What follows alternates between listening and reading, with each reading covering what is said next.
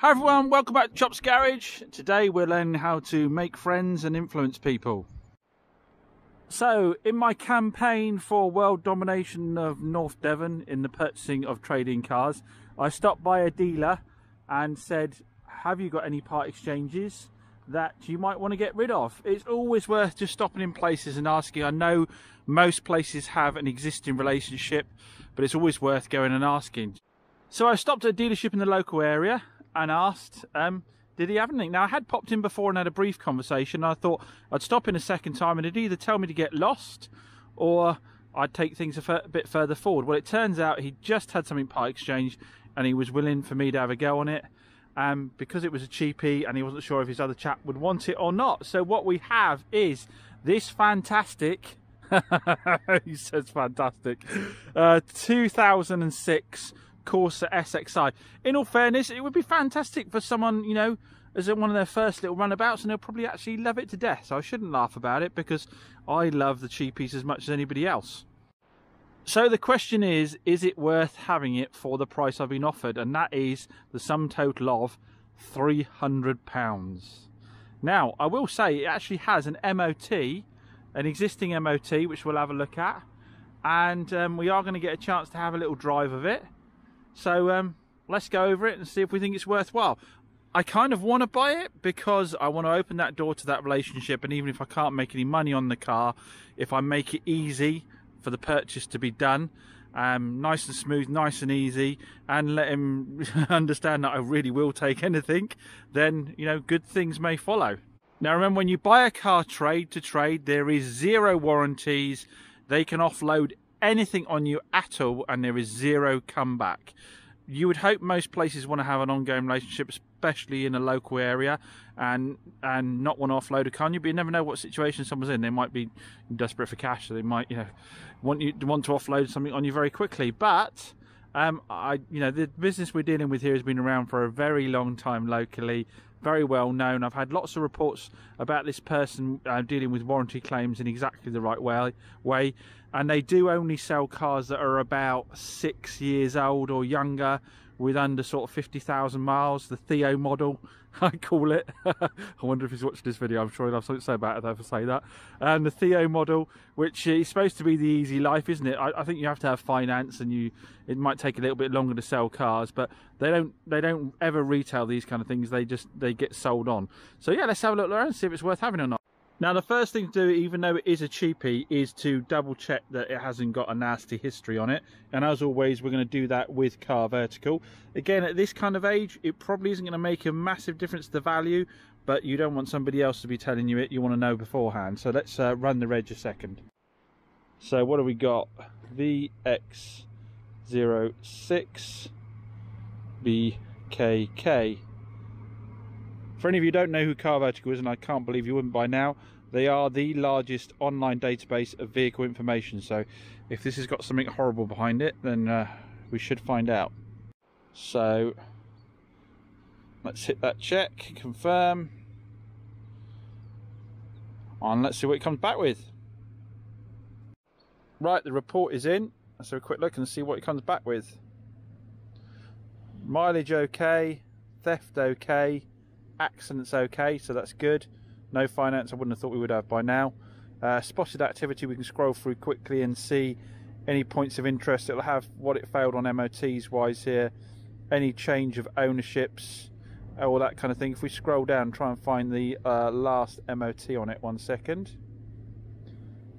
As I'm scrolling here, I'm noticing a lot of stuff for tyres, but it seems to be the same ones year after year. Coil springs corroded tyre, and coil springs corroded headlamp headlamp aim low coil springs again tires.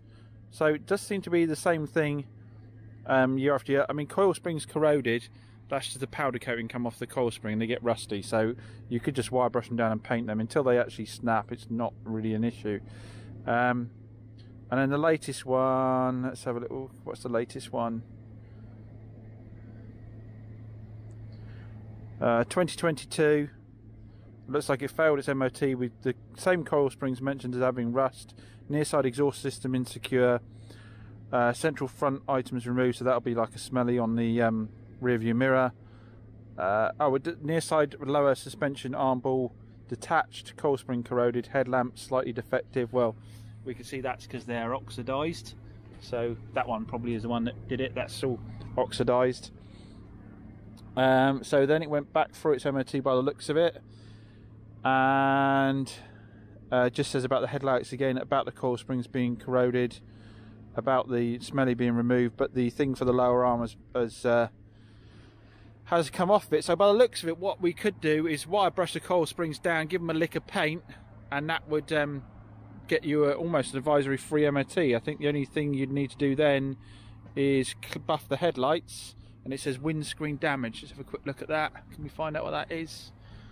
Oh yeah, little chip up there nothing to worry about. It certainly doesn't need a new screen. So polish the headlights, spray up the springs, put it back for an MOT, and you'd only have one advisory, take, leave the smelly off there, and you'd only have the one advisory for the chip in the windscreen, which isn't bad really for a 2006 car. Nice mileage graph on uh, Car Vertical lets me see if the mileage has got any dodgy peaks and troughs, but that all looks nice and consistent. It stayed, yeah, just nice level, consistent way all the way through. Uh, yeah, it's all looking good on that front.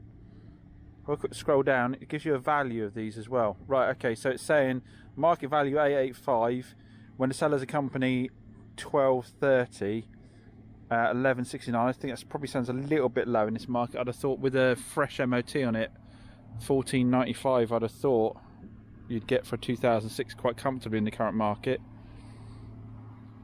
so we're all good on that but let me show an example of why we do these checks so this BMW 5 Series is noted up for sale, looking all shiny and new, but a quick car vertical check caught that actually it's been in an accident. It was okay for mileage, okay for theft and showing no finance, but it had been an accident. If we scroll down, car vertical can actually tell us where the damage was. As you can see, it was quite comprehensive with lots of parts of the vehicle damaged.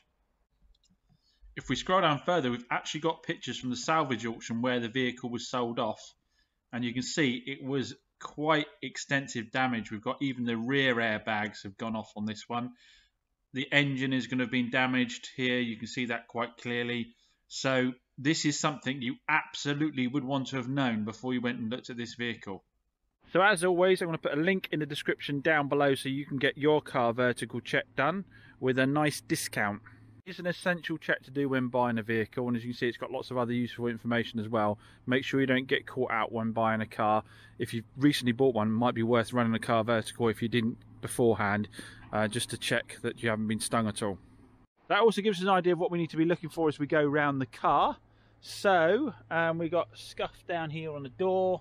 We've got to bear in mind this is going to be, you know, we just spoke about what the value of it might be, so let's not go crazy about what bodywork issues it might have. The wheels are scuffed up, It'd be a nice easy refurb because they've got a quite flat front to them. You could just run a sander over them, give them a lick of paint and that tidy them right up. I say that a lot of that will buff out. Um, you have got a dent, but I wouldn't do anything about it. And then you could just put a touch of paint on the corner there. Again, we've got to think, you know, 1500 quid, someone's first time car, little runabout.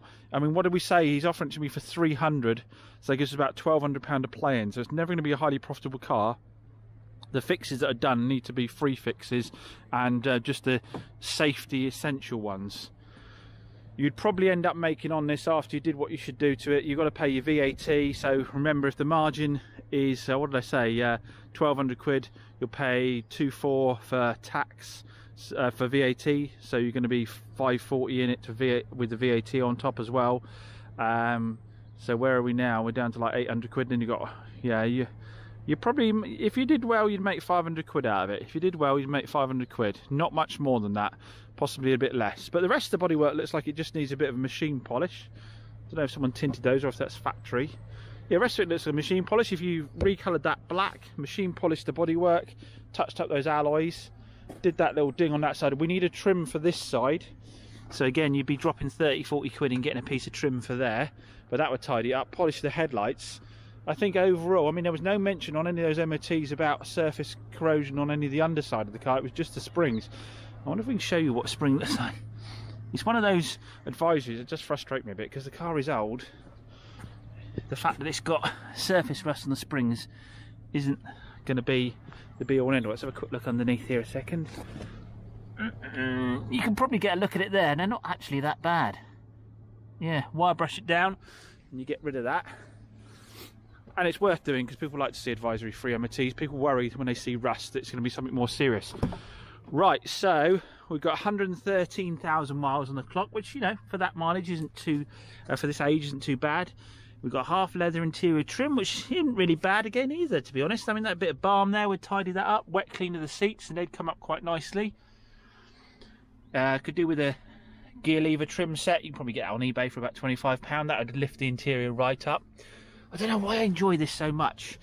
These cheapies. This is um, much better than getting a car in that doesn't need a lot. I just I can just see the potential for it coming up as quite a nice little car for someone could do with a new set of floor mats. That would tidy things up greatly. But actually a bit of plastic clean on here. Headline is really good. It come nicely. Now obviously mechanicals is a big thing.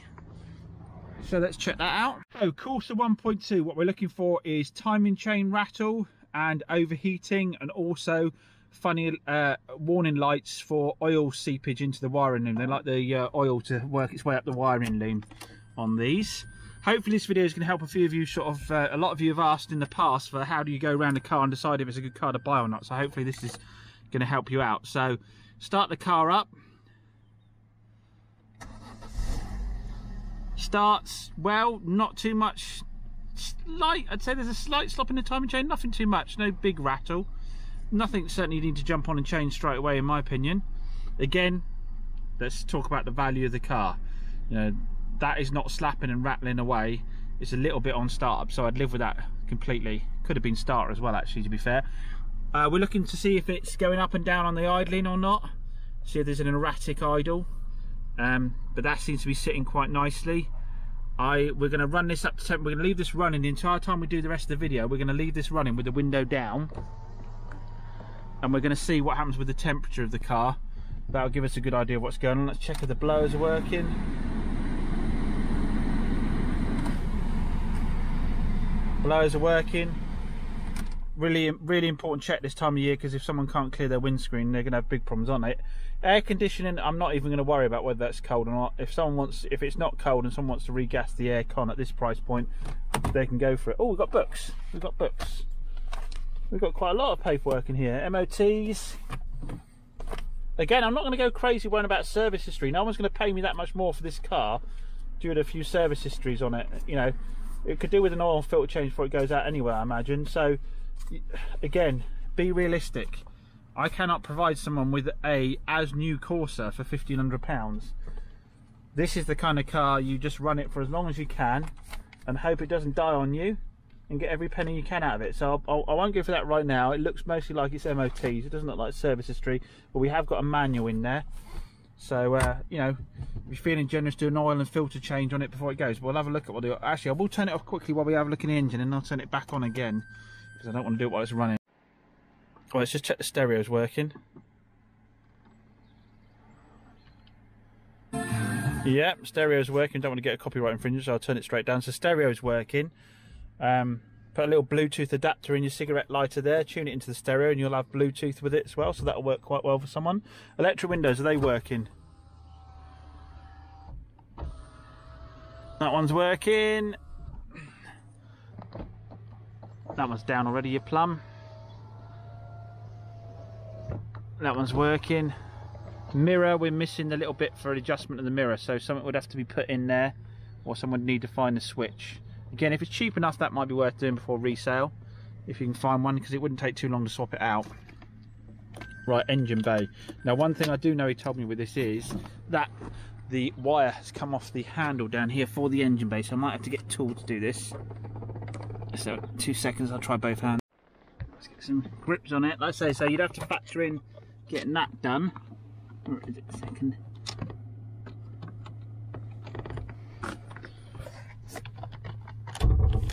There we go.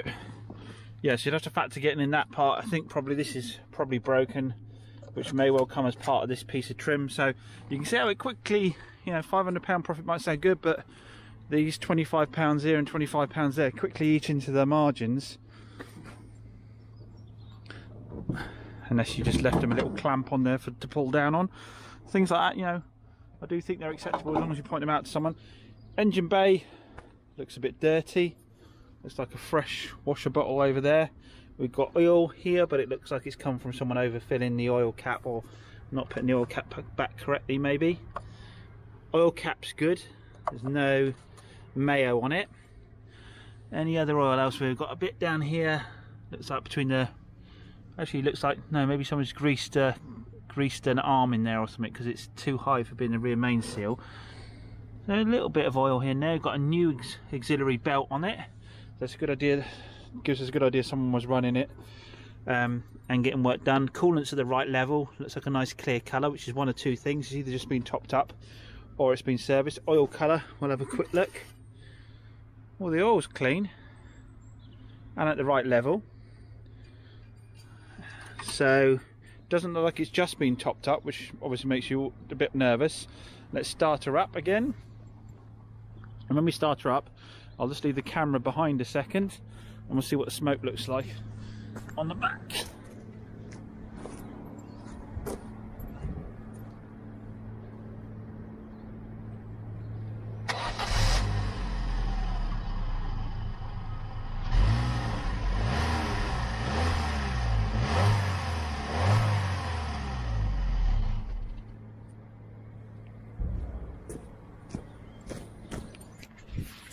I'll watch that back a second.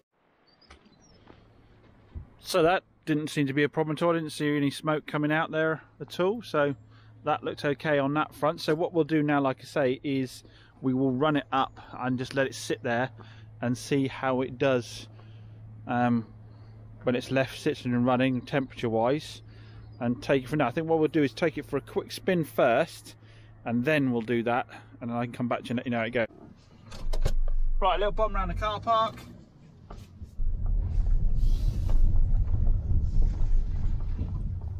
Clutch is okay. In the middle, gear change. Bushings feel a little bit woolly, but that's just the age of the vehicle, 113,000 miles. Steers nicely. Whee! No knocks or clunks from the steering in full lock. That's all right how he brakes wise. A bit of graunchiness in terms of pads on disc, but that might be because it's been sitting. Might worth driving around a bit and trying to work that off. Get into a few more gears, third. Oh, That's fifth, sorry, third. Fourth, fifth, all seems all right.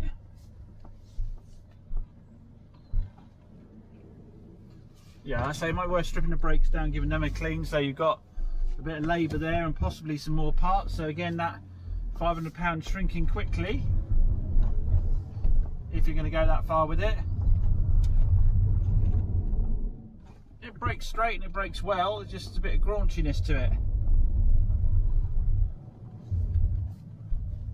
Come off the so we'll go around a sort of less finished surface and this is some knocks. There's a ridge up here between the tarmac. See if we get a clonk.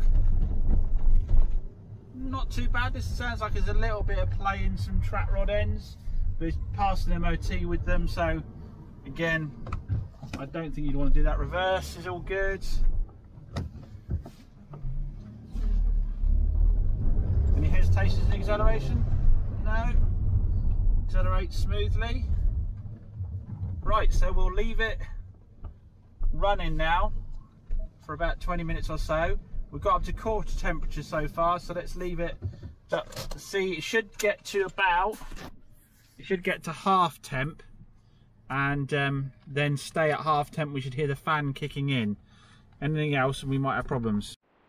Well, the car's been sitting for a good deal longer than 20 minutes because I got distracted, went off and did something and forgot I had it running. So we'll have a little look, see how we're doing.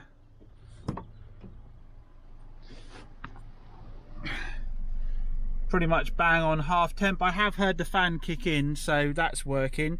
So I'm happy that it's not overheating. What we'll do is we'll just turn it off and have a quick look at the coolant bottle and see if there's been any loss of coolant in the time it's been running.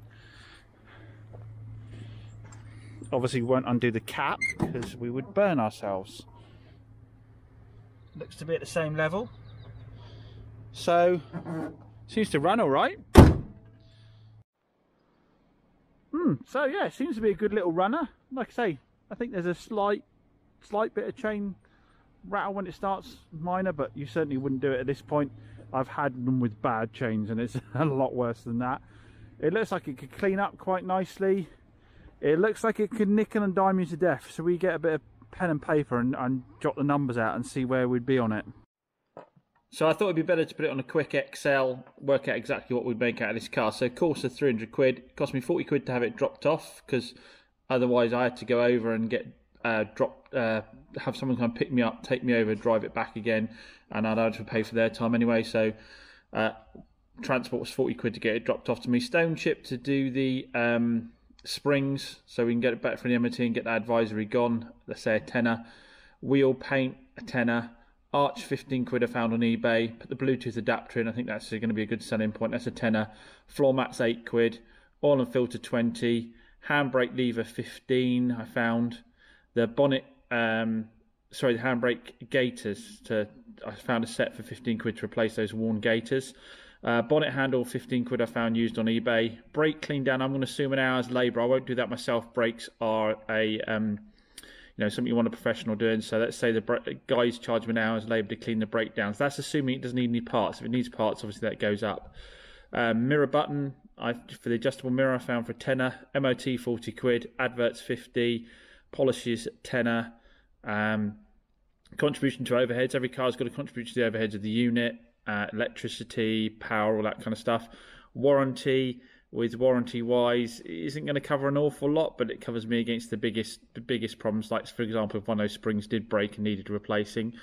So you could look at it and say, uh, I mean, the sale price according to is about twelve ninety five. I think you might get a little bit more from it, but that's a lot of people commented when they saw it on TikTok it'd be about twelve ninety five. So let's use that figure. Let's say I put it up for fourteen fourteen ninety five. I might get knocked down anyway. So between a lot of people think this is how the industry works. It costs twelve ninety five. Uh, I sell it for twelve ninety five. I bought it for three hundred quid. I've made boom nine hundred ninety five pounds. But that's not the case at all. Add all those bits in to get this car retail ready. Because don't forget, if you just left the car as it is, is effectively private sale, and private sale price is about eight hundred and eighty quid. So do all those things. There could obviously be miscellaneous costs that are missed along the way there.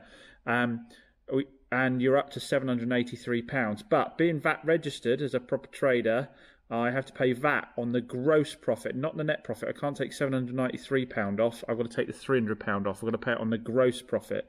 So, just in case anybody doesn't know the difference between the two things, gross profit is literally what I sell the car for versus what I bought it for. Net profit is the true profit after all the other costs.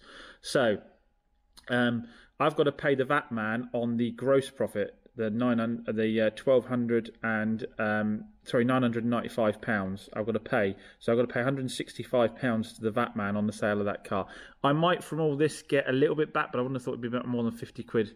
There's no VAT on um, MOTs, and the rest of these will be twos and three pounds on the VAT. So the actual net profit is £346.17. Now, some people say, oh, yeah, you've got to pay tax on that too, which is true.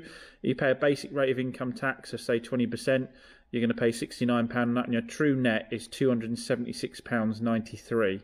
So from a £1,295 sale, that's your true net. Now, that isn't really a true net because, as we know, also if the car goes out and it has a problem within the first 30 days, they can either bring the car back or we have to fix it up to six months they could make a claim. I'd have to prove that it was fair wear and tear or it didn't exist on the car before, which I'm probably not going to win that argument. Um, so I might have to throw another 100, 150 quid in doing other bits and bobs.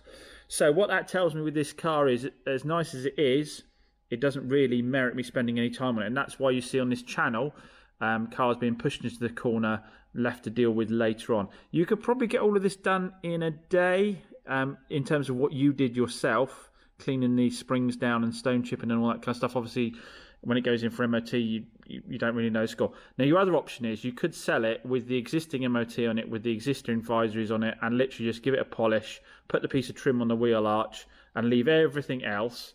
But then I reckon you're probably down to selling it for £900, so your margins will probably end up being the same either way. So comment down below, does all this make sense? so it's a nice little runabout. It, it's but it doesn't really merit me spending my time on it. The risk versus the reward isn't too bad, so it can get pushed in a corner. If I fancy earning a day's wage sometime, I can crack on on it. If in between someone comes along, offers me, you know, you imagine if someone came along now and offered me 500 quid for it, um, I'd pay a bit of VAT on the difference, but I wouldn't touch the car. So if someone just bought spares and repair for five hundred pounds, and I paid a bit of VAT, I marked up by two hundred quid and paid a bit of VAT on it. You know, I could make you know not far off the same profit without touching the car. So you again, you can see why cars get like this pushed to the side and just sold off spares and repair. But if you're trading from home, it could be a good little flip. You know, again, you could work on it in a weekend and probably earn yourself a good day's wage out of it. So I have done a deal. I bought the Corsa uh, for the £300 from the chap. And like I said, that opens up the door to a new relationship, which should bring greater rewards. Based on the numbers, there's a small profit to be made on it. It won't be a priority for me to do it. I've got lots of other cars that have potentially bigger margins in them that need prepping first. So it will park up in the line here. May well be someone comes along and decides to buy it as a project as it is in between. If they don't, by the time I get round to it, it shouldn't take too long to get ready. Um, but like I say, there are other priorities at the moment. But yeah, if either way, I'm sure it'll work out. Like I say, the biggest thing is opening up a new relationship with a new dealer with potential other part exchanges. It could be that's the only one I ever get. Could be it starts to get some really good offers, but at least he knows I buy them nice and quickly, no hassle, and um, come and pick them up quickly as well. So I'm a good source to go to if he needs to get shop stuff, even if it's a bit older and a little bit run down. Anyway, thanks for watching as always, massively appreciated. Don't forget you've got that link in the description down below to get a discount on your own car vertical checks. Like I say, can't stress enough, really important check to do if you're buying cars or even if you bought one and you didn't check it out at the time. Better to know. Anyway, thanks again, catch you again soon.